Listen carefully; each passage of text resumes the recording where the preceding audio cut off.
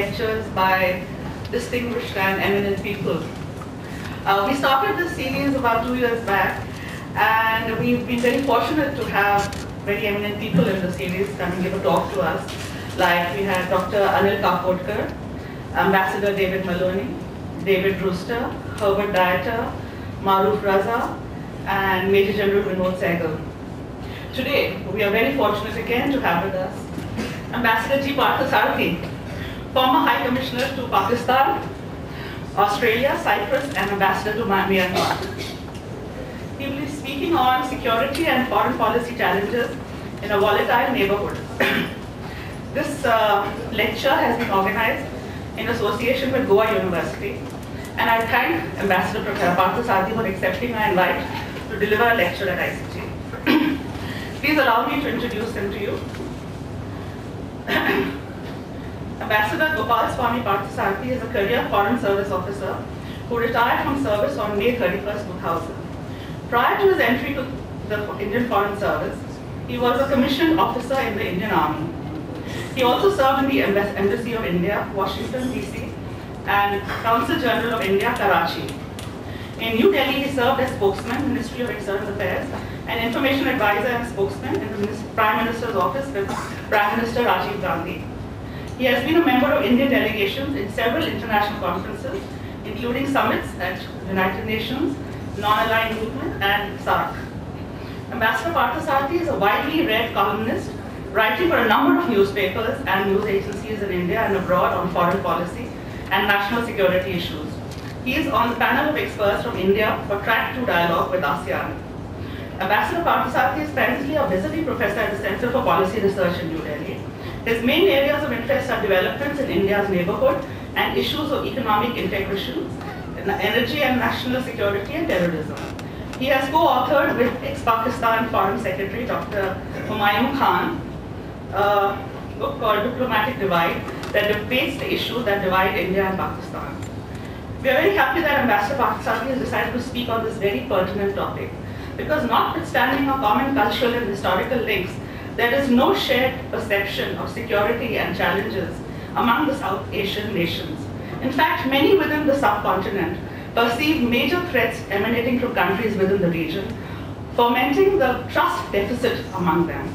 Indeed, this lack of trust is not the sole preserve of India-Pakistan relations, as border disputes and maritime issues continue to infuriate ties within the region, and repeated rounds of talks over the years have failed to bring any settlement resulting in people, especially the marginalized suffering.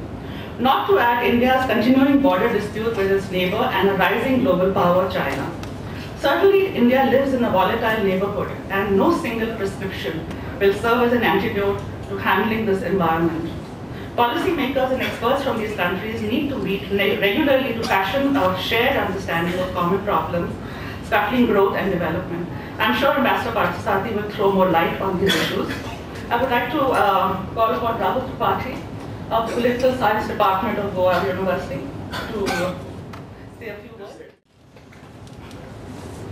It's a pleasure on behalf of uh, uh, Goa University to uh, welcome Ambassador Parthasarathy. Uh, thanks to the International Center Goa for organizing this very, very pertinent uh, talk.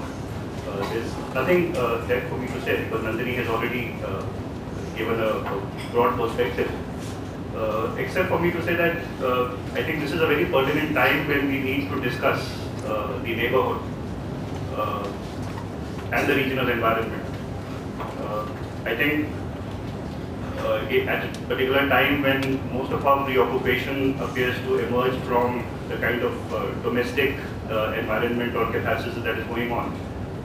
Uh, we forget that uh, uh, the region as much has an implication on our internal dynamics as perhaps what is happening within. in fact, from the point of view of our foreign policy thinking, there was a point of time when we almost forgot that, well, there is a region which has to be factored in. So, so not so long ago we were talking about emerging India and our global aspirations, and the neighbor never really figured in, in those aspirations. Uh, in the contemporary scenario, when we look at uh, how the situation is unfolding, I think the domestic regional linkage is going to come out fairly widely though, whether it is Pakistan, Afghanistan in 2014, uh, and why these countries, uh, given what has happened in Bhutan recently, uh, a country where we presume that uh, political developments in Bhutan should not be of any consequence to us. We almost heaved a sigh of relief when the new political dispensation came to uh, power in, in Bhutan and I was reminded of 1991 when something similar went on in Nepal. So the neighborhood has to be a very important factor in our foreign policy calculations. As, as we often say, you may change your friends, but you can't change your neighbors.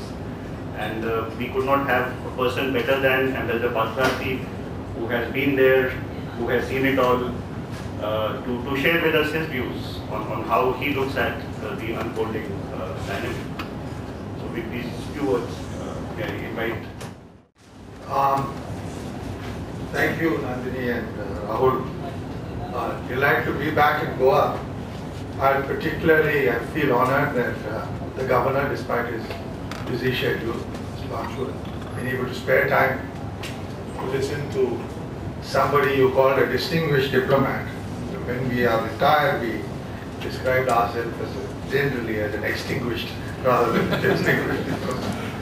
The, uh, uh, and also, I was particularly pleased that uh, this is an occasion when, strangely, the capital, uh, at least as far as its ex-diplomatic and security establishment has descended on Goa.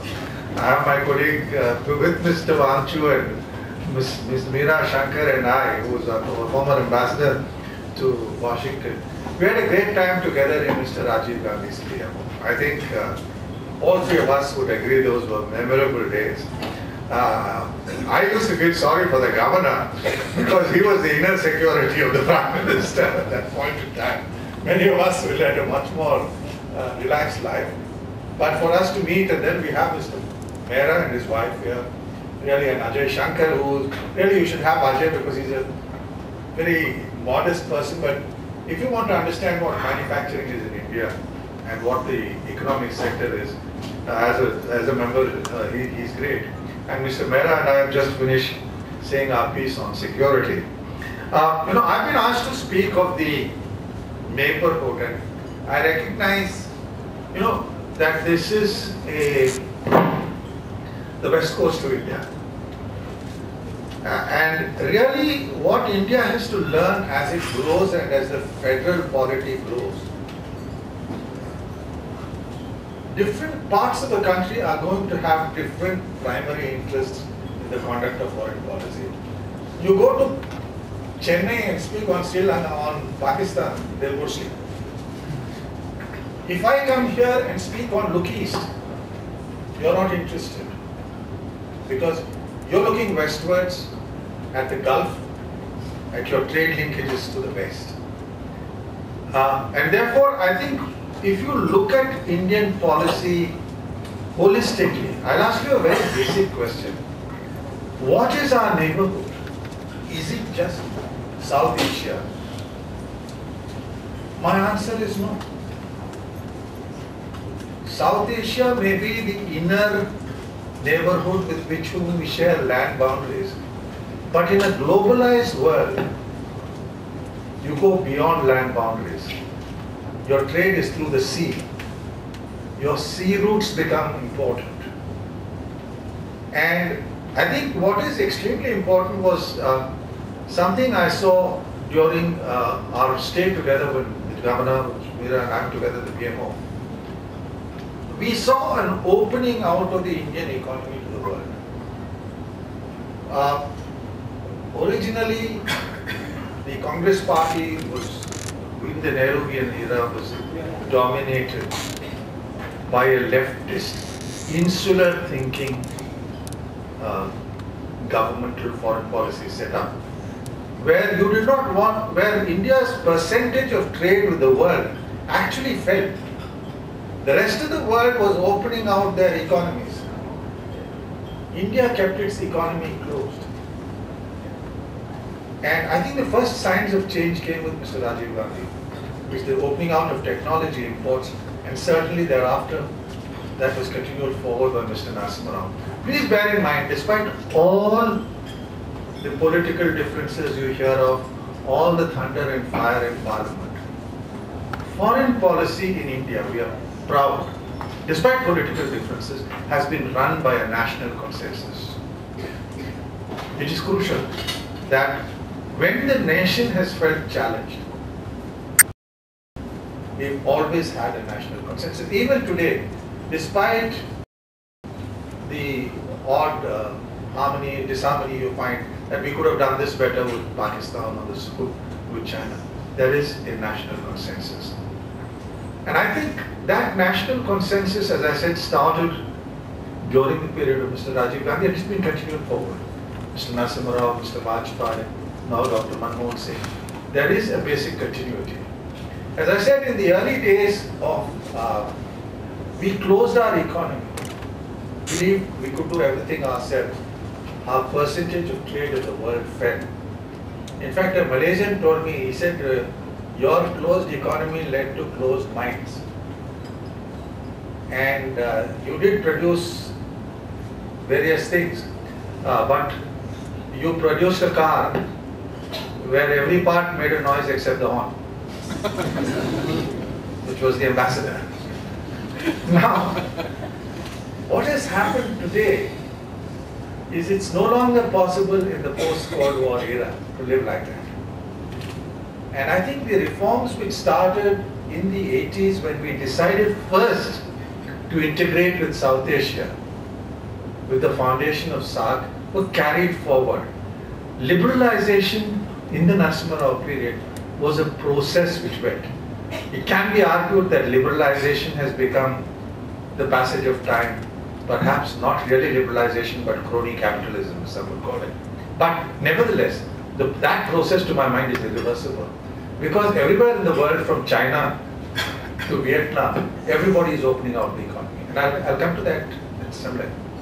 So I think if you look at our neighborhood, I would say it doesn't end in South Asia. If you look westwards, your neighborhood extends across the Persian Gulf to the shores of Africa. Please don't forget that. Historically, your forefathers traded with Africa, traded with the Gulf. It was different that over a period of time you became insular. Likewise, in the East, the spread of Buddhism went to what is now ASEAN. Not from India. From India it went to Sri Lanka. From Sri Lanka it was the Sinhalas who spread it to Myanmar, to, to Thailand, to Cambodia. So these civilizational contacts we should not forget that a country which is a subcontinent on its own cannot just look at its land borders and say my neighbors in there. Your land border, your, your natural frontiers extend up to the South China Sea in the east and across at least to the, uh, to the uh, Straits of Hormuz, if not beyond, we certainly do, and the Straits of Oman to your west. This is your strategic neighborhood. This is your extended neighborhood. And I would urge students here, don't confine yourself to South Asia. Look beyond. When you study the politics of Pakistan, you will see half its problems today are not caused by India and the United States. It is a rivalry between Saudi Arabia and Iran which produces the Shia-Sunni tensions which is tearing that country apart. So when you look at your own coastal security, and Mr. Bera would be in a much better position to explain the mechanics of that than I can, you have to look beyond. You are not immune to piracy from Somalia. Those guys will come pretty close to our shores. Likewise, westwards, you have to look westwards uh, towards the South China Sea. I think the first person who defined it was Mr. Vajpayee. And the consensus is in a meeting with the army commanders, and really that was Brajesh Mishra's doing. Mr. Manmohan Singh has not changed that. India's extended frontiers extend that. Now, the best way in the present world to extend your frontiers is not military. it is economic. And if you see the evolution of our foreign policy through these years, you'll find something very interesting. We started with SAARC. We did not know where to take SAARC till an eminent persons group was set up. One of those eminent persons who drafted that report lives here in Goa. You should have a talk with him, Dr. Pai Panandiker. And what did they, what were the findings of that group? They said South Asia has to move in three stages. First to a free trade area, from a free trade area to a customs union, and from a customs union to an economic union. So the vision for South Asia is there. This has been agreed to by all SAARC governments and endorsed by the SAARC summit in 2003 in Nepal. Then with liberalization, we came to a conclusion. The fastest growing region in the world economically was to our east, East and Southeast Asia. Do you know Korea in the 50s had a lower per capita income than India. For 30 years, it grew at 8% annum. China has done similarly. Ever since Deng Xiaoping's reform taking off around the early 1980s. Most of Southeast Asian economies have grown at that rate. So, if you want to grow at a higher rate, you can't say I'm going to confine myself to Nepal, which grows at 3% or 2% and that too thanks to Indian aid, or to Pakistan which grows at 1.5 or 2% depending on which Lashkar is calling the shots. But you have to integrate with the fastest growing economies of the world. That was the beginning of Look East. And Look East evolved.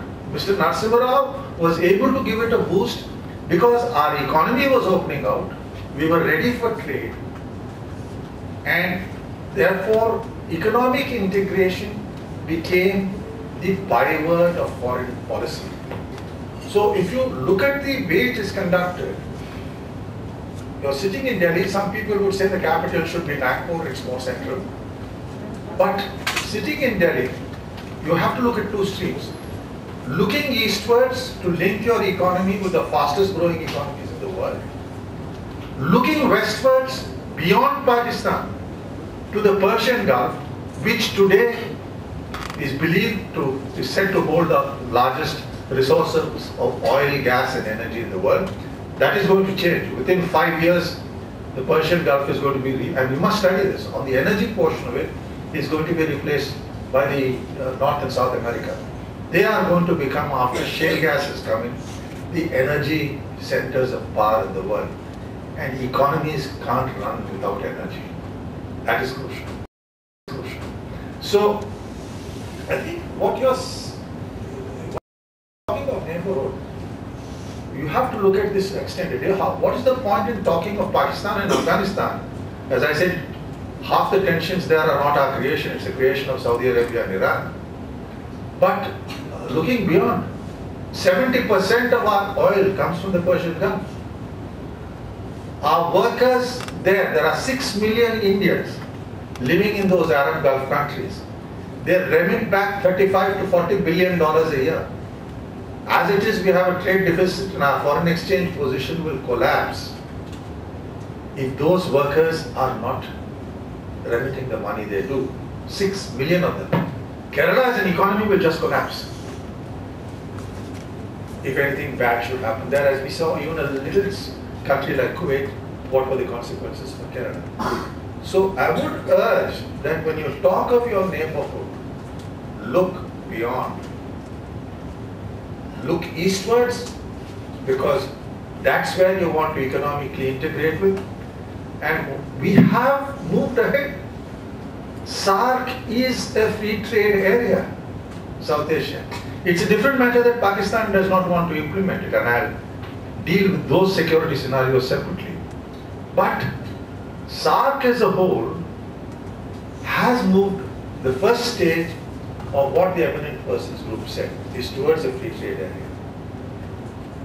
What you need to look at is, should we allow Pakistan to stop us from integrating because it does not want to integrate? How do you deal with that?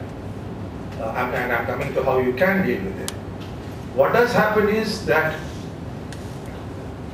this integration, which is which we have set forth, has to be complemented with what we are doing to our east. And our economic integration with Southeast Asia, uh, with the, what we call as the Look East policy, is far ahead of what we are doing with SAARC. Just forget about this little neighborhood. It is important for our stability, so you can't forget it. But look beyond. SAARC and Southeast Asia will remain dynamic and growing. Your trade has increased 10 times in the last decade.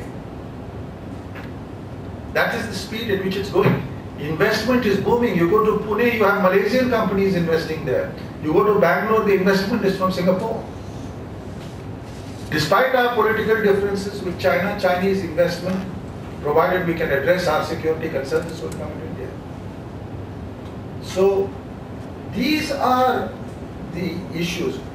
Foreign policy has in this contemporary world to be economy driven. Ultimately, India's security is guaranteed not by how many soldiers you have, that is important, to the strength of your armed forces, but the rate at which you grow. Can you catch up with the fast growing economies of South or Southeast Asia, Southeast Asia or East Asia? Because let me, uh, I think we will have to acknowledge that compared to the countries in our east, we have done poorly in economic terms. That is the reality. And look east really adds to this.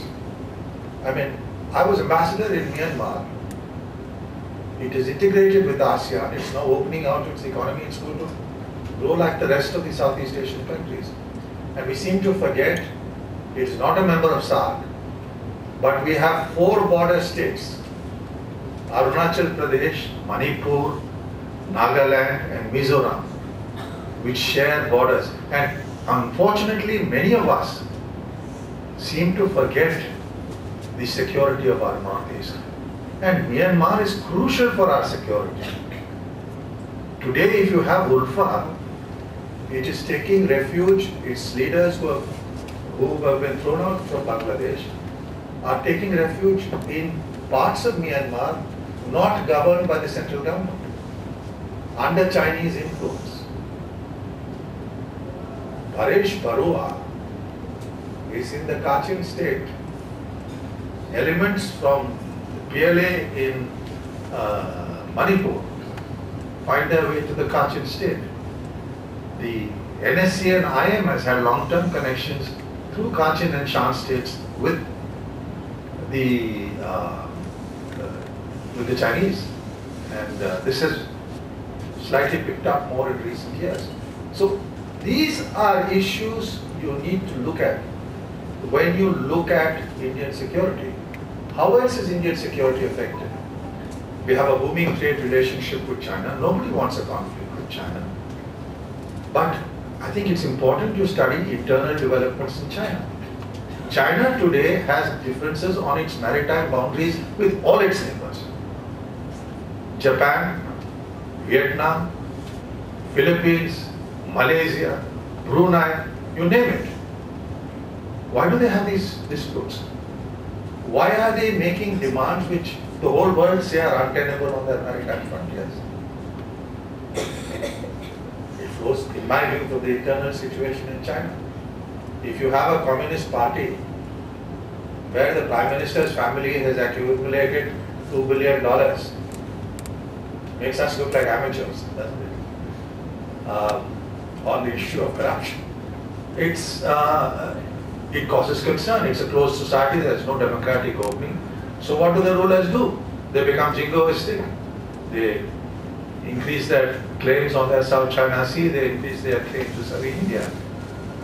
Uh, and Chumar, if you go through any map of the 19th century or earlier, in which, even in the period when the Sikhs ruled Ladakh, it was never a party to it. Why are they asking for more? Aksai Chin, debatable. Yes, it can be a subject of discussion. But never these. Why are these claims?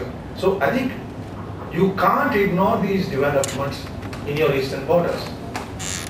If you want to, if you see Pakistan's nuclear weapons program, there is no such thing as a Pakistani nuclear weapons program. The Pakistanis can't make soldering pieces, how do they make a nuclear weapons program? The designs of Pakistan's nuclear weapons are Chinese. In fact, when A.Q. Khan handed over these designs to the Libyans, finally when Gaddafi decided to give up his nuclear weapons, he uh, the Libyans handed over the designs he gave to the IAEA. And he had done it very nicely. He had given it in the shopping bag of his Rawalpindi tailor to the Libyans. And the designs, the, the, the instructions were in, were in Mandarin. So, if you see a second generation today, Pakistan threatens you with tactical nuclear weapons. It is not that AQ can't design them.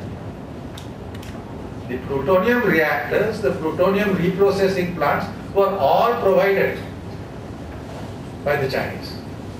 In fact, there is a Western uh, American scholar who's an expert on uh, uh, the uh, Pakistani nuclear program um, called Gary Milhollin, and he said there is no such thing as a Pakistani nuclear weapons program there is a Chinese nuclear weapons program in Pakistan.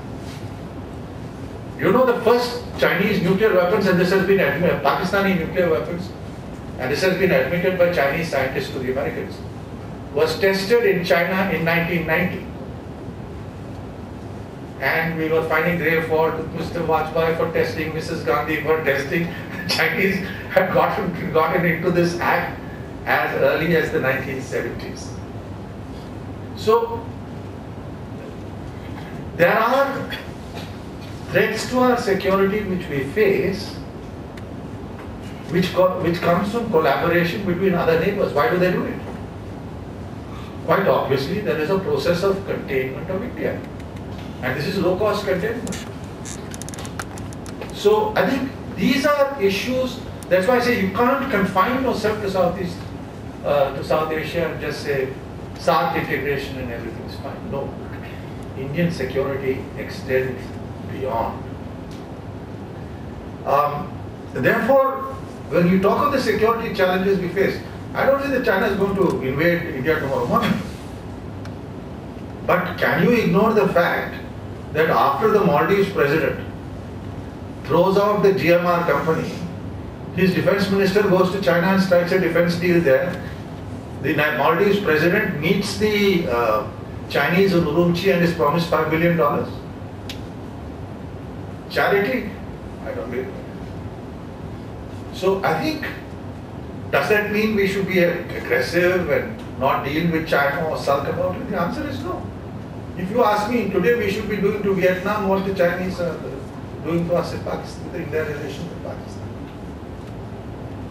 So I think um, in bearing security in mind. And I think it's not that we don't think of these things. If you take the Prime Minister's visit to Japan, it was very carefully thought out. Uh, many things are not said, but certainly when Japan, in uh, violation of every constitutional provision that it is good for, tells you it is provided to fill, you, fill your navy with a seafaring plane and ask for exercises with you, they're not doing it for charity there is a balance of power emerging nation. How you mold it intelligently, this is going to be a crucial part of how you conduct your foreign policy. So, looking east has its own dimensions. Now, and the challenges are there, the opportunities are there, because this is a region going to become much more integrated economically and you can't stop it. Uh, and can you avoid another fact? The United States is within the next five years, and we were discussing this yesterday, Mr. Mehra and I. In five years, is going to become the largest producer of oil in the world. It is already exporting natural gas. And the Americans never give anything to anyone for free. When some American tells you that, you know, we are all democracies and we love each other, I mean, be very, very clear. Uh, that's all very nice. But if you take emerging American policies on trade, you can't ignore it. On their Atlantic coast, they are signing, pressing the Russia, uh, Europeans to sign a free trade agreement a transatlantic partnership with the European Union. Why? They will ease the Russian influence now coming on Germany. And when the Americans ask for a partnership, it's on terms the Americans set. Similarly, on the Pacific coast, together with Canada, which again has huge resources of oil, this is why economics becomes so important today. They are forming a trans-Pacific partnership. Already everybody from Vietnam to Canada to uh, Singapore uh, is just queue, Thailand, they're just queuing up to join the trans-Pacific partnership. Japan and South Korea already have free trade agreements, so they have no problem. They, what the Americans say is, we'll give you oil and gas if you sign a free trade agreement with us. If you sign a free trade agreement with them, it will be on their terms. I'm not sure any government in India, given the type of coalitions we have, can meet those American terms. Can we or don't we? So economics today, I just want to say, when it comes to security is driving force. The Americans are preparing to pack up and leave from Afghanistan. They've already packed up and gone to Iraq. When they have enough, uh, North America and South America are going to be the focal points of oil production. Argentina has greater shale gas resources than the United States. Then at that stage, is Persian Gulf going to be very important to the world? I would think not.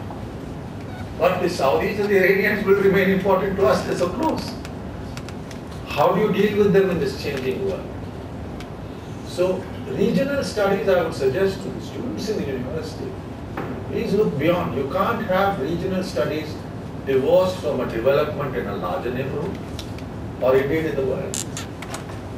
Because as I said, these are partnerships which are going to emerge due to a changing energy scenario within the next 10 years. Uh, we've got to face up to it much the way after we can. Who would have told you in 1980 that you would have a free trade area with ASEAN and a comprehensive economic cooperation agreement which goes into not just goods but also services with ASEAN? We did it. So I think the factor to be borne in mind is the centrality of your partnerships. And I think by and large, everybody is critical, even I am critical, you know, when I uh, write a couple of articles or am with Arnab Goswami on television. But the fact of the matter is that this is a policy with national consensus. And people who do it, I think by and large, all are patriotic Indians, who may quarrel with each other, but these things are thought through and are thought through at some length. What is now important is, in every society, in India, too much of the decision making is concentrated in Delhi. I think in our universities, in our think tanks, we need to do much more. The monopoly of wisdom cannot exist in Delhi. We cannot do as good area studies in, in the, on, on the Gulf as people in the West Coast can do. So if you have your relatives, your friends working there, it's been a natural transaction. Similarly on the East, without Tamil Nadu or Karnataka, you can't really understand what's happening in Singapore, the dynamics in Malaysia. It is important. So it is important that as we pass on, this area of studies, all of you which you contribute in international relations, will have its say. Remember, in any democracy, it's not the capitals which produce all the wisdom and all. It's, it's not the case. It, it comes across. Now, naturally, uh, as I said, so we do have a vision. We are in the process of, as I said, in- on the east. Now, how are we looking at the west? Um, I think, as I said, the west will extend into the Persian Gulf and the shores of Africa. Let me say that from the days of Jawaharlal Nehru, and I, my second posting was in Africa, Tanzania Deputy High Commissioner. We the Africa, we are, uh, let me tell you something, we sometimes tend to be racist and take the Af- Africans for granted. That is the reality about Indians. But let me tell you, the growth on our east coast you can't ignore. Mozambique has huge resources of gas. Mozambique invites your navy to protect its shores when they are having a summit conference there. How many people study Mozambique? And those of you in Goa, you must. Because I tell you what, when Frelimo fought for its independence, uh, I was, I knew all their leaders when I was in Tanzania. So I, I'm sorry, I'll digress a bit on this on the neighborhood because, uh, you know what Samora Machel told me? He said, Mr. Deputy High Commissioner, we will win our freedom in Goa, you provided us the inspiration on how to beat the Portuguese. So there is a natural affinity which we have to look. These are places where Indian populations have been there. And very importantly, unlike the Chinese, who I think five or ten years from now are going to really get a huge setback in Africa because every African knows they're there to make money and exploit their resources. I think if you go through the plans which Dr. Kalam drew up for Africa, it's, it's fascinating. He says, distance education, satellite communications, you improve for them. Those are things with which they will come back to you for commercial contracts. Don't push with commercial contracts. I think these are issues which you need to look at. If you want your security across the Indian Ocean in your oil rigs, you can't pretend that Ethiopia to uh, down to South Africa don't exist. They do. And um, the process of integration, economic integration, taking place in East Africa is something one needs to study. But coming back closer to home, I told you the energy scenario in the Gulf. As of a couple of years ago, two-thirds of the world's oil and gas reserves were located in that region. That is changing. That is going to change with discoveries of shale gas all across the world. You may perhaps have it offshores of Goa, but uh, in India we proceed rather slowly because of concerns of environment and water. But certainly China, everybody else is going to, Australia certainly going to move ahead. So, Persian Gulf, or you call it the Arab Gulf, or just the Gulf, is going to remain crucial for us. Uh, I told you 6 million people, $40 billion of remittances, oil supplies. I think we are in a much better position to negotiate with them. And I think what the American invasion of Iraq has done has changed an otherwise uh, relatively stable region where sectarian considerations and uh, therefore the process of normalization with Pakistan will take time. You have to continue. I mean, let's not forget it's a country of 180 million people with nuclear weapons, many thanks to their Chinese brethren. The, which uh, is, is something you have to live with. I think one thing is very important. There is a small constituency in Pakistan, civil society, journalists, students. I think we should relax our visa regulations and open out. Let them come, let them interact. Because unless they come and see how you are, they're going to be led away by propaganda. And if you see their college and school curriculum of history and Pakistani studies, it is full of venom. Kids are taught to hate India. These are realities. One can't wish away and say that, you know, everything's going to be tickety boo. But we have to keep trying as a mature country. You have to reach out to them. You have to uh, uh, deal with their society and move ahead. But I think one thing we have to bear in mind, Afghanistan. Afghanistan historically has been the plaything of empires. Everybody from Alexander the Great to the British and now to the Pakistanis believe they have to be trampled upon. And the problems are going to arise there. Because I think the Pakistan military is into a very difficult situation. It raised the Taliban, it nurtured the Taliban, completely forgetting that it the Taliban were allied to the Pashtuns in Pakistan. That they set up a Tehreek-e-Taliban in Pakistan. And when the war on, uh, George Bush launched his war on terrorism, the Tehreek-e-Taliban in Pakistan became a target. Turned against the Pakistan military. So I think these are developments you'll have to see within the country, what's happening to these radical groups. Today, the Pakistan military has a very interesting policy.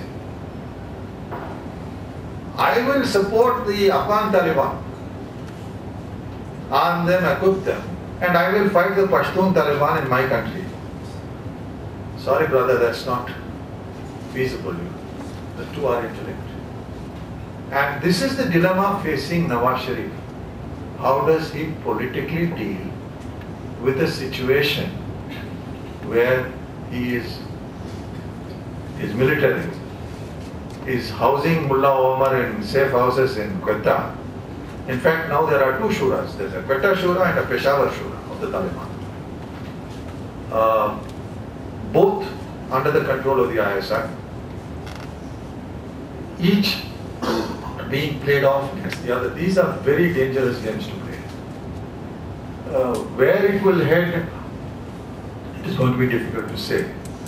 But I think the danger for India, and let us not underestimate this, is should the Taliban return to power or take large areas of southern Afghanistan, we face a security. When I was in Pakistan, it was uh, uh, there was a very funny episode. The Americans launched a cruise missile strike on Khost, which is in southern Afghanistan, bordering Pakistan. This was in retaliation for the attacks which Osama bin Laden launched on the American embassies in uh, Nairobi and Dar es Salaam where large numbers died, and for the attack on the USS Cole, the naval ship. The Americans did us a great favor.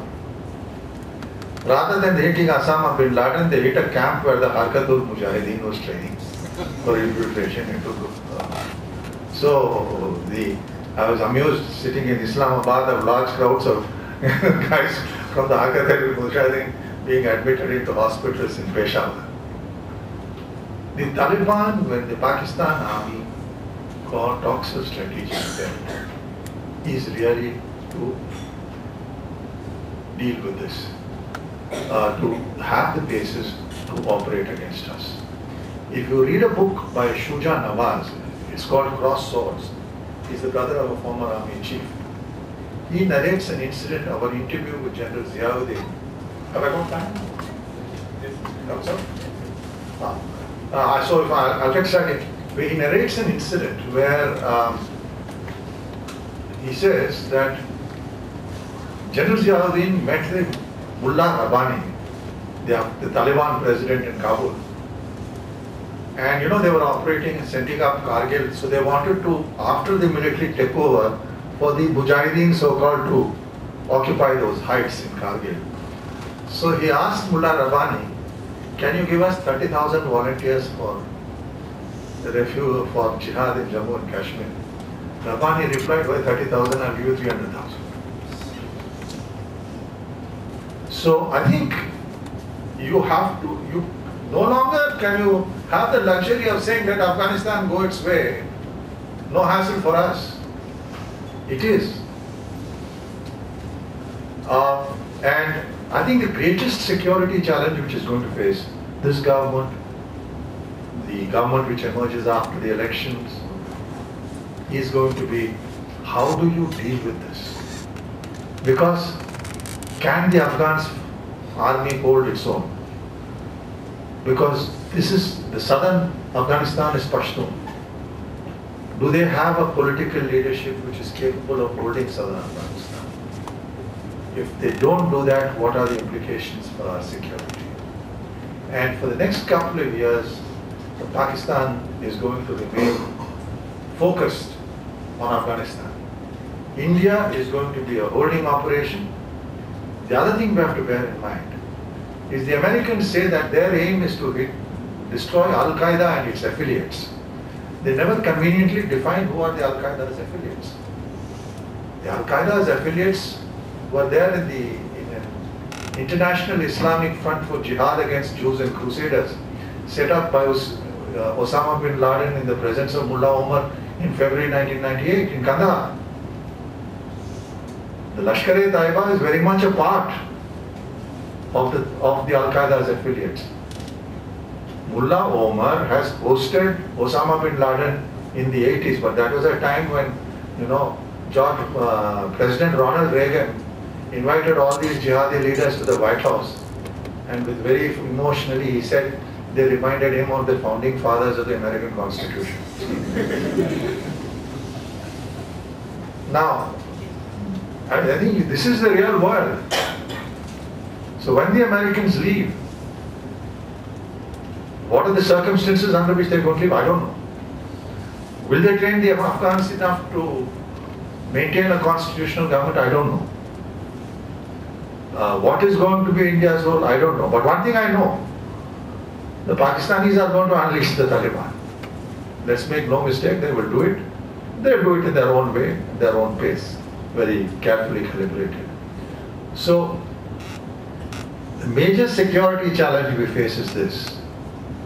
Um, it's, it's, it may interest you to know, you've got this, uh, you know, the real mischief makers in foreign policy, not so much the Americans, it's the British.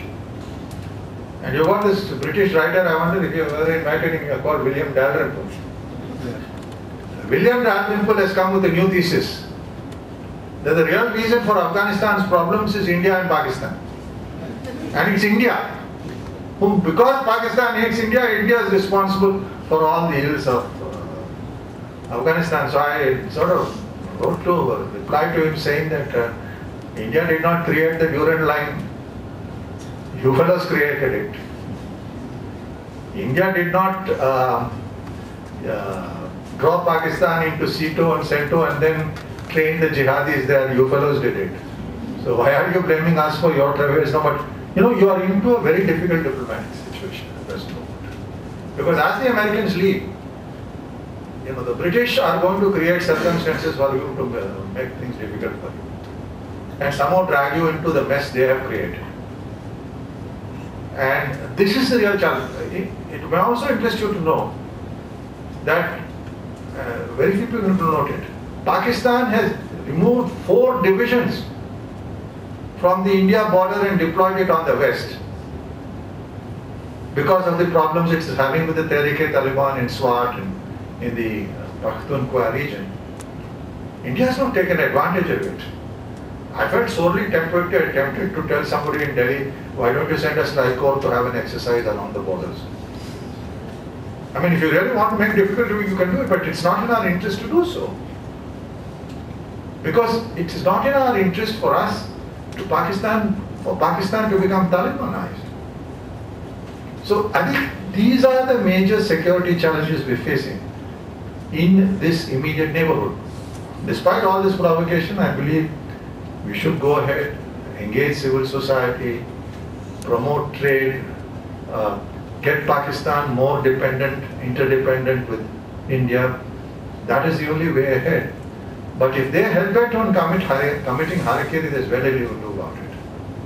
Because I don't think it's going to be such a cakewalk that they can just march the Taliban in and everything will fall apart. It's, it's going to be tough. So I will uh, sort of uh, conclude there. I think I've uh, spoken more than I, I should. Beyond saying, I'm happy to be in Goa. I'm particularly honored that the governor and all my friends are here. But they're tired of listening to me in Delhi. so to, to listen to me here. Uh, but uh, do bear in mind uh, that look beyond, especially people from coastal states. You know, one of the reasons why India has always faced problems of foreign invasion is the heart of India never looked at the sea. And I always tell the Pakistanis that your Punjabis who rule you are landlocked. They don't have a maritime mind. And Goa is, is important. You've got lots of naval, former naval chiefs living here, people like Arun Prakash, who, who, would, who would inculcate this in you. And uh, I'd like to conclude by saying it's nice to speak to a young audience and uh, questions and answers. I'm willing to take on any questions and answers. Already you have said that this Afghanistan-India relation is very good. Even we know that uh, we have long history with uh, good relation, uh, Afghanistan and India. And uh, the more uh, important thing is Afghanistan is having good relation with India. India is uh, helping for all uh, aspects like construction, education, health center. Main problem is in 2008 there was bomb blast. That was the deadliest bomb blast in Kabul in Indian embassy. There was more than 50 people died, so many people injured. And after 2000, uh, 2014, this international uh, are going to go and withdrawing from Afghanistan. And what will be the role of India in Afghanistan and what will be the relation of Afghanistan with Pakistan? I think you uh, raised some very pertinent points uh, on Afghanistan. I'm, I'm glad, I'm told we have over 4,000 Afghan students here at the present moment in India. You know, let me put it this way.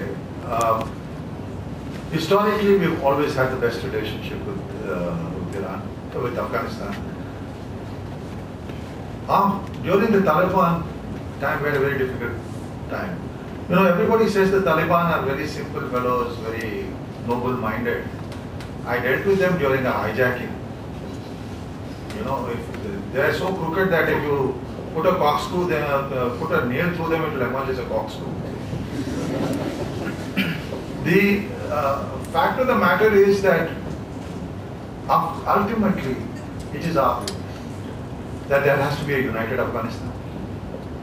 All people are talking separate north, separate south. I believe there should be a united Afghanistan. Afghans have traditionally been united. Two, Afghanistan's future has to be determined by Afghans.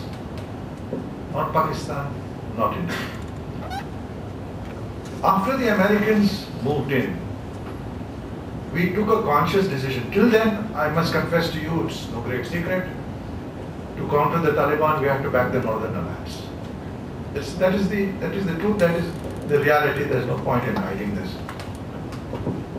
But once that happened, and the Afghans set up their own government, we decided we are not going to mess around with the politics of Afghanistan. Our assistance will be purely economic. It did not matter to us whether you are Pashtun, Tajik or anything, but it will be purely economic. For the last 10 years, uh, last uh, 12 years now, almost, it's been just that, just economic. Now, you're into a situation, as I said, which is very uncertain. How this will play out. The Americans say Al Qaeda and their affiliates. What will be the American residual presence? How is the Afghan army going to be re-equipped? We don't know. Right now, your army is woefully short of equipment. Uh, what are the Americans going to do? Right now, everybody is telling you, don't get involved. Perhaps there's wisdom in that because we are not a major weapon supplier. The Americans are there, the Russians are there. Everybody is there. But how long we can remain non-involved, I don't know. That's a decision at the highest levels in Delhi they will have to take. President Karzai has, uh, has made his views known. But the question is, if, she, if we should get in, involved now in this sort of thing, the Pakistanis will use that as an excuse to up the ante with the Taliban. We don't want that to happen because, as I said, you're due for presidential elections next year. We'll have to see how that goes. I hope they are free and fair elections because that's important that it is credible. So if you ask me how it's going to look, it's really going to depend on how the situation inside Afghanistan plays out. We are building the port of Chabahar in agreement with Afghanistan and Iran. We build the Zaranj Delaram highway which links to Chabahar. Now, uh, all this we are prepared to do. But on the security situation, we have to see how the major players play. I, as I said, I don't want someone to come and say, the Pakistanis sent in the Taliban because you guys started rushing in weapons. That's, it doesn't serve anybody's interests at this point in time. But that's a decision the government will have to take because we would like to see an independent Afghanistan in which the Afghans decide their own future. Yeah. Uh, uh, Dhatresh Parulekar, Faculty of International Relations at the University. Uh, so thank you very much for a wonderful presentation. I have three sets of questions. Since you painted this particular topic on a larger canvas that took you to the extended neighborhood and the immediate neighborhood, I would like to deal with certain temporal and structural issues regarding the way we deal with our statecraft. In the very beginning, you said that as a democracy, as a democracy matures, our statecraft will also have to edify and become more innovative. But what do we do with this whole idea of strategic culture? I think it's my serious belief, and as a patriotic Indian as well, that we are large on vision, but we are very, very small on outcomes. So how do we get into this ethos of strategic culture, which we're going to have to face down the road? We can't kick the ball down the road and say, let's wish it away. And that's going to be crucial to how we emerge as a rising power. Second, since you talked about a federal polity, uh, the conventional wisdom is that federal polity is largely a constraint on the way we deal with our foreign policy and our statecraft. But can we look at an alternative vision where our federal polity can contribute to the way in which we interface, for example, with the diasporas? So can we have, like as you said about coordinates in India, India should look at different regions from different coordinates. Can state governments be given a lot more latitude without necessarily dealing with foreign policy issues to deal with softer issues of foreign policy? Things like engaging with diasporas and signing commercial contracts, which can build engagement. And the third is, for any major power, be it the Americans who are a long-standing power, China which is a rising power, or we as an emerging power, we will face this dilemma between how much of power projection and how much of being a benign power which doesn't threaten its neighbors and others.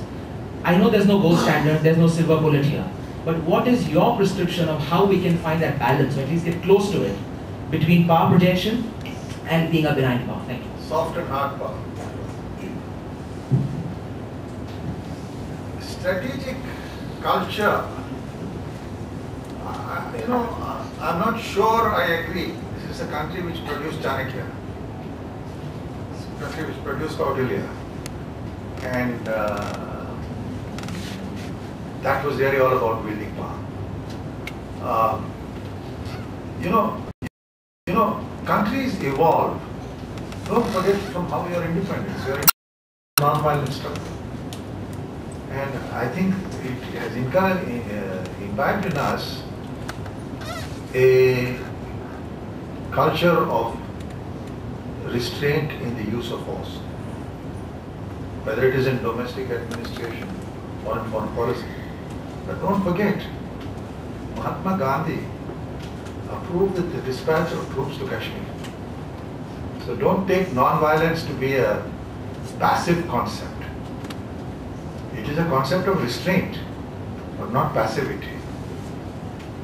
Um, the, I do believe that, uh, let me deal with something more interesting. Uh, that we are, we are evolving. Uh, I was a member of the Naresh Chandra task force. We reviewed the entire gamut of. When Subramaniam reviewed it with the Subramaniam committee a decade earlier, they looked just at the military and foreign affairs. Okay? When we reviewed it in 2012, 2011, 2012, we went beyond. We said security cannot be just armed forces, hard power. We looked at energy, we looked at agriculture, we looked at water, we looked at technology. Uh, my friend Ajay Shankar got tired of, uh, you know, and the thing on, on the amount we focused on technology and industry and innovative ways to, you know, to, to get access to technology and be innovators of technology. So I think this a strategic culture which you talk, there is an inclination here to over-equate it with the use of military or hard power. That is a last resort, you know. And uh, yes, we have to be militarily prepared. It is unfortunate that because of the economic downturn, we have had to go easy on some of the projects we had in mind.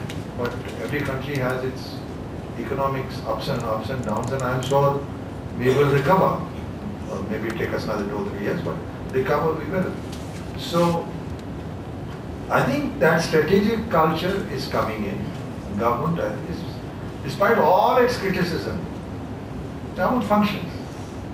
You know, um, not to the optimum, but there is a structure we've developed.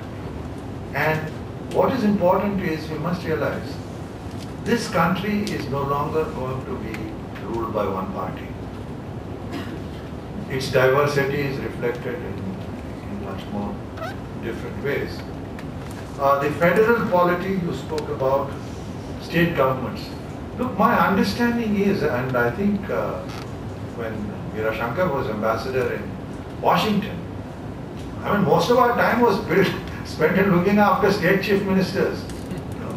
It's a different matter when I was in Australia and there was a Commonwealth conference, I found half a dozen speakers in Colombo, half a dozen speakers going to Colombo via Australia.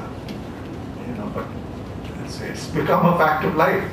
Uh, the um, fact is, yes, that with decisions on investments being more and more taken by states, in fact, yesterday we were discussing really the problems the federal polity creates, say in energy and power.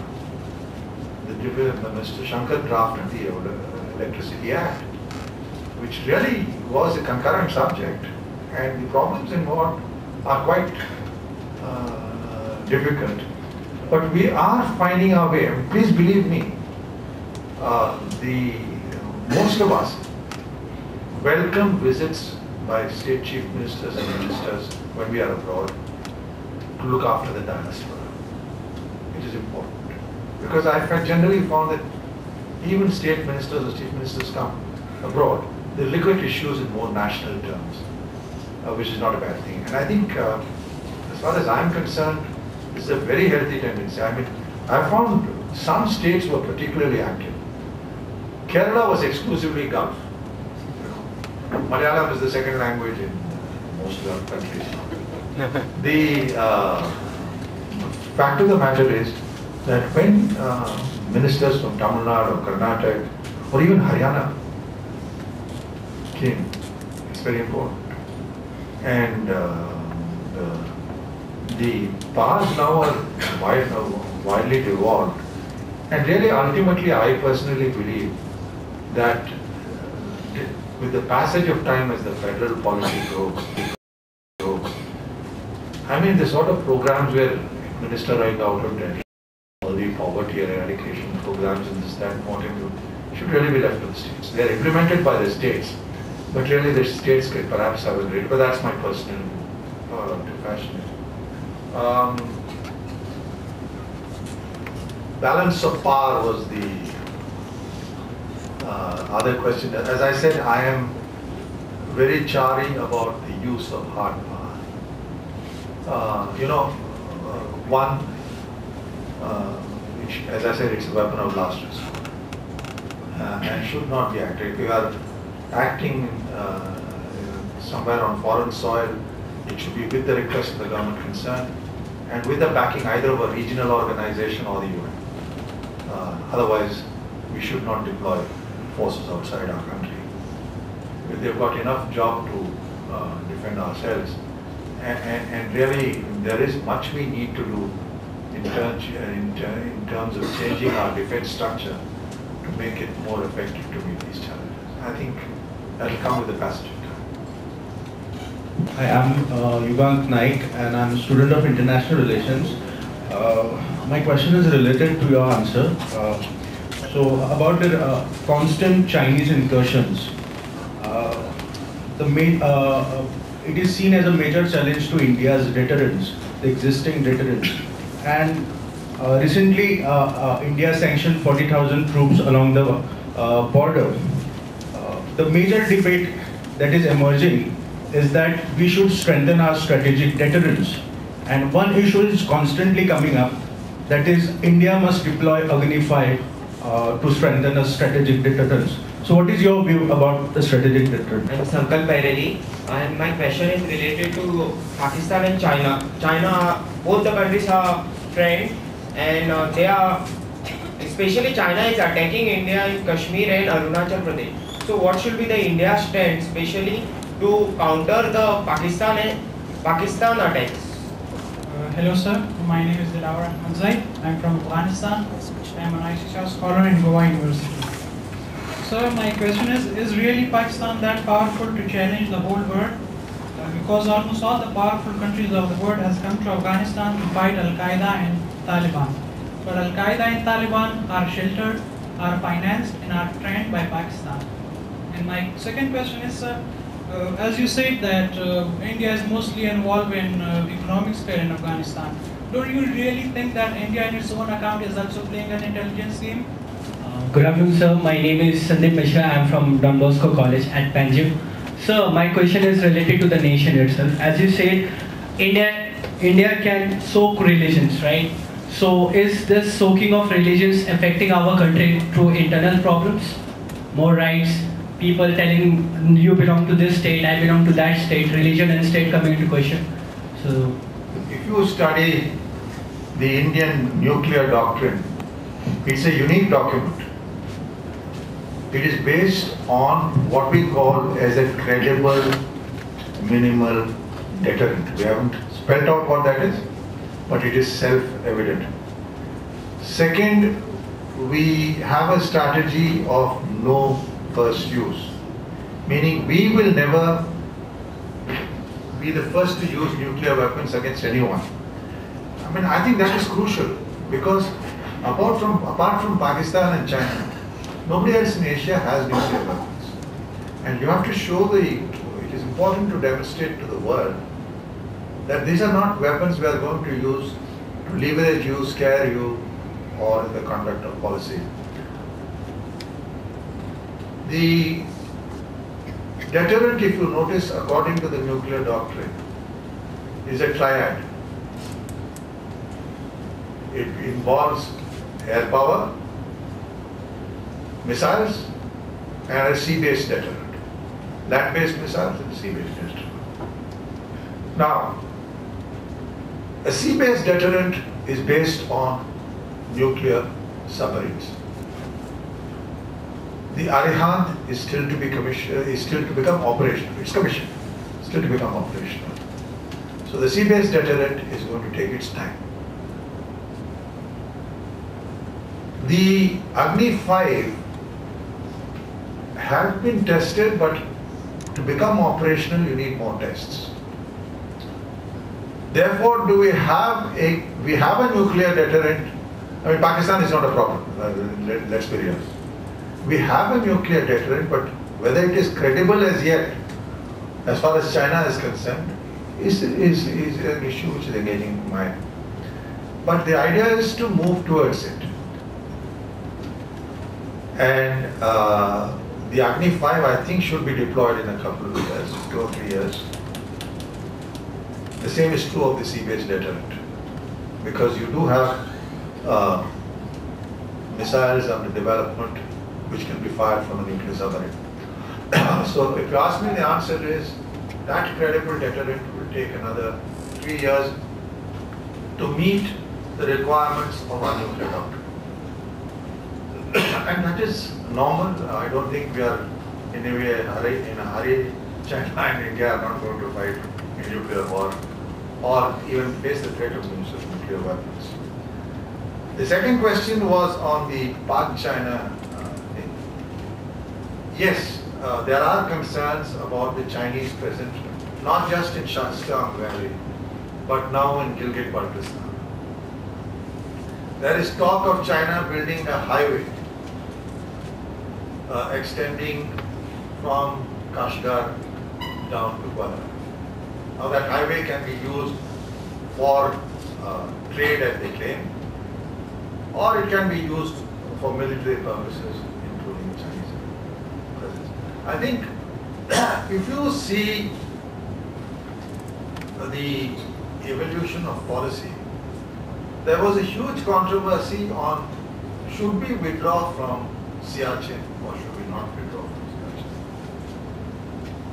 I think the thinking now in Delhi is, yeah, we'll sign first an agreement to demarcate where the line of control is. If you go through the agreements, there is a 1949 agreement between military commanders of India and Pakistan, which says that beyond the Shyok River in Kargil, the point called 9842, the line of control proceeds north to the glaciers. Okay? That line of control has been defined but never demarcated. What Pakistan did in 1972 was to move that control not north but eastwards to the Karakoram Pass. So that, in my view, they would have had a, a direct link up with China at the Karakoram Pass. And if you see the tensions today over Chumar and so on and so forth, they're much about areas just to the southeast of the Karakoram Pass. Therefore, uh, a link up between Pakistan and China at the Karakoram Pass, if they had no presence in Siachen, would give them the whole control of North Kashmir, northern Ladakh, extending uh, across the Karakoram range towards the Hindu Kush. Therefore, I don't think we are going to be in a hurry to get out of Siachen. This is one. Two, we have taken objection at various fora to Chinese projects in Gilgit-Baltistan, saying at least the notional claim that it is our territory. And you won't believe it, even Doordarshan has got into the act. Because if you see the Doordarshan news bulletins, they refer to the temperature in Gilgit. I'm serious, it's not, uh, these things are uh, done after careful consideration. So I think we are conscious of this. Uh, we're conscious of the fact that even during the Kargil conflict, that route was used to re-equip the Pakistani military. Uh, but uh, the overall implications are that in that region, sitting in Siachen, we do have certain advantages which we retain. Uh, what was the other one? Something which, uh, something challenging. Uh, ah, my, my young Afghan friend. Uh, do you know, uh, sometimes mosquitoes and bees can be quite dangerous. Now, if you are a country with nuclear weapons, albeit it's another matter the Chinese gave it to you. But if you are a country with nuclear weapons, willing to use Salafi Islam to achieve political aims, uh, there is very little that anything, uh, you know, which others can, can do. For the Americans, I think uh, they got it wrong from day one. Um, you can't fight, a foreign army can't fight a counterinsurgency on somebody else's soil. Uh, I mean, Afghan capabilities should have been built and utilized much faster. But uh, we are uh, where we are. Uh, yes, so Pakistan, if you ask me, as I said, does have that ability to sometimes sting in its own neighborhood. But I, I do believe that if, let us see how the situation plays out. In an ultimate analysis, let me say, till the Afghans unite and decide what they want, even God can't help those who don't help themselves. I think the Americans can equip you, the Indians and others can help in training, but if your neighbor is acting difficult, then my understanding is you have several political leverages I will not go into in this audience, which Afghanistan can use far better than India. Because the Pashtun homeland extends up to Attock, if I understand correctly, and into Balochistan. Okay, thank you. Now one more question. Uh, intelligence. Uh, thank you, Indian intelligence. No, we're not very intelligent people. Remember one thing. The Indian experience is unique. Never in human history have so many people with such diversity in religion, ethnicity and language lived together as one nation state. This is unparalleled in world history, it's unparalleled in contemporary history. And I think it, it's important for all of us to remember that and build on it. I mean, uh, we should not make a, a discussion on terrorism as it an issue of religion. No religion sanctifies terrorism. I told you, I think, uh, as I, I spoke to you about the Marathas and the parochial feelings in, in Mumbai. I think this will pass. When Bala Sahib took his Shiv Sena movement, Madrasis like me were the target, now we are no longer. So, you know, things change. People for politics, for temporary gain, use things. The important thing is, do we as a people subscribe to that? I think not. I think if you talk to an average Maharashtrian and you look at their history, the fact is they ruled the whole of India. And they were pretty good at it. So, you know, when they go back to their own history, and when they- when they look at things in perspective, the problem is that in our education syllabus, I don't know how many textbooks in Maharashtra speak of the role of uh, Sambhaji in, uh, in, in Bijapur or beyond. It was, it was not religious. This, these, these were hardcore Marathas serving the Sultan of Bijapur. So I think basically our ethos, and I think we owe it to all of us, never to speak of a guy as being Christian, Muslim, Tamil, Rajasthani. Let's speak of us as being Indian. And the happy thing is, when Indians go abroad, they do that mercifully. they all form their Andhra Association, Goa Association. They eat their Gongura Pachadi if you are Andhra, you know, their Sambar if you are Tamil. You know, that's fine. But they, they relate to the outside world as Indians. That's important. Thanks. I'll go on to the others. Uh, good afternoon, sir. Uh, my name is Amal. I'm a Palestinian origin, and I had an inquiry. The thing is that today I'm finding that Israel and India relationship is uh, getting a bit tighter, and I feel that it's going beyond beyond defense in my observation. So I really wanted to know um, what is this relationship of India-Israel today is reaching between like India and Israel, you know? So I really wanted to know where are we going as India relationship with Israel. Thank you very much. With regard to China, uh, India has recently uh, decided to raise a uh, strike force in the, on the northeast frontier uh, to counter China, uh, spending around uh, 60,000 crores. Uh, many believe that uh, this much of resources will be utilized in countering China in the uh, maritime frontier in Indian Ocean. Your take You are talking of Admiral Raja Menon. Yeah, he was saying he's from the Navy. Anyway, yeah, I'll, answer that. Yeah. And the second question is, uh, sir, China is rising. Should Im- what should India do? Should we embrace or should we counter it? Rise. Simple. Sir, uh, uh, You rise, you counter it. So my name is Sheikh Ismail Imtiaz from Don Bosco BAM. So I want to ask a question that uh, India is an economically uh, developed country. uh, this uh, India's population is the is the second second in the world after the after China. So this uh, it, it is the it is that it is uh, India will will over may take overtake China in in the 2045. Uh, so the Dr. Abdul Kalam had, had, said he wants India to, to, to be a to, to be a developed country, but but uh, but since our GDPs and uh, and this uh, per capita incomes are, are are very low, how are we going to going to this be, be a developed country by the 2045? Uh, I'm Mukund Narvikar, faculty in Department of Political Science, Goa University. Uh, so I have three questions. Uh, two, yeah, in short, in brief.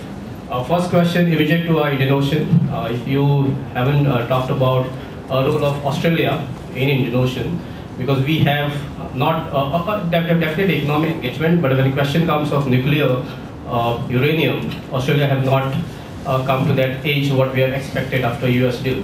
Uh, that's the first question. Second is about uh, uh, the formation of Iraq, a new country altogether, and keeping Kurdistan movement into the picture. Because right now, what news we are getting is that Kurdish movement in Iraq may, maybe in future, hypothetically, want to form a new country altogether, and they are controlling the resources, especially pipelines of uh, uh, oil and gas. How India is uh, looking forward to deal with Iraq and a new Kurdish country. Hypothetical that question. And the third is about uh, uh, Pashtun movements in uh, southern Afghanistan, bordering with Pakistan. Again, there are a lot of write-ups that maybe hypothetically, if uh, Pashtuns fail to make their uh, command and demanding uh, whatever option they are uh, playing in Afghanistan, if they fail to do get once Afghanistan leaves, are they going to form a new country end of the day? And keeping that into how are we looking Balochistan movement in uh, Pakistan? And again, end of the day, how India perceive all these three development in its neighbor, extended neighbor as well as in south, southern. Okay, uh, I think I'll answer my Palestinian young lady first. Uh, let me make one thing very clear. India established relations with Israel, diplomatic relations, only after the Oslo process started and Yasser Arafat himself was dealing with the Israelis. So we did not see any point in us not talking to the Israelis at a time the Palestinians were talking to the Israelis. This is point number one. Point number two, whatever we do with the Israelis or don't do with the Israelis, we are committed to support the creation of a Palestinian state. We are committed to a two-state resolution with all countries in the region living within secure boundaries. I think the real problem is, is really for the Palestinians to address. If the Fatah and Hamas are not on talking terms, it is the Israelis who exploit it. And I think this is really, to me as an Indian, I feel pain when that happens. Because I've been to Israel, uh, I have Israeli friends. But one thing I'm very clear to them, that they cannot live in peace, it's not in their interests, till they abide by the roadmap of, for peace agreed to in Oslo. And let me tell you one thing, others may pay you lip service, we all in India know the connections that the Mossad has with many of your Arab friends. That is the reality. Despite that, I think for us, it is, we have a moral obligation because we had it from the days of Mahatma Gandhi to see the creation of a valuable, uh, of a, a viable Palestinian state. Uh, whatever our Palestinian friends want us to do, we will do. Now, uh, has our stand changed vis-a-vis the Palestinian cause? The answer is no. As I said, the Indian recognition followed direct contacts between the PLA, uh, the uh, PLO and the, and the Israelis. Uh, and this is a moral obligation to us. It's not because somebody tells us a Palestinian state is a moral cause. And we would demean our sense of morality if we diminished our position. Now, every country in the world, whether it is India or China, has a certain relationship with Israel. The reality is that if you go to Maharashtra, where there is a shortage of water, the drip irrigation technology is Israeli. Israel, insofar as our defense relations go, is a supplier to us like they are a supplier to, to China. We are looking for the best defense technology. And if tomorrow the Egyptians give us better terms for defense technology, we take it. But that is not going to compromise, as I said, the larger moral commitment, which I think we have and should continue to have for the Palestinians. Um, now, uh, India, a developed country by 2014. I was just, we were talking when we came here. How did 2045? How did Korea become a developed country? Answer very simple. 8% growth for 30 years. If we achieve that target, we'll be a developed country. Dr. Kalam has certainly made suggestions about how we can do it, technology development. I hope we can do it, but ultimately that's the solution, is 8% growth for three decades. Uh, Indian Ocean, Australia, uranium. You know, the Australians are surely, slowly coming to understand the realities of the world. They were asked, I was High Commissioner when we had our nuclear tests in Australia. They made a big song and dance about it, and I told them, mind your own business. We're doing this for our own security. I mean, it was as blunt as that. Now, yes, they have the largest resources of uranium in the world. Yes, there's been a political controversy. Uh, but Australia is not the only supplier of uranium. We've got agreements with the Kazakhs, we've got agreements with Namibia, we've got agreements elsewhere. So the Australians will have to take a call on whether, with their great affection for democracy, they can supply uranium to China and not to India. And their commitment to not to So I'm not in a hurry. And in international relationship, never give a person an impression that you're dying to get something.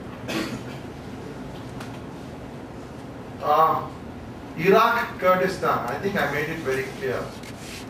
Um, I don't know what games the Turks and the Americans are playing in Kurdistan.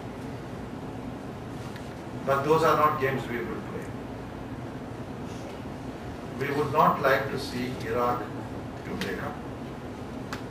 That was a commitment the minister made.